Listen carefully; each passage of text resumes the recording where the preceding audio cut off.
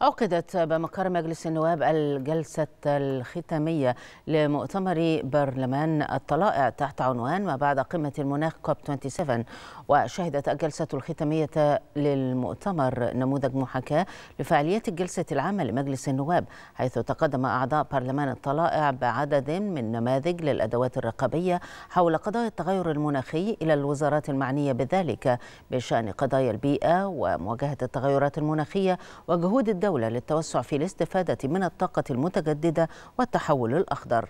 وطرح الرؤى وكذلك الحلول لهذه القضايا.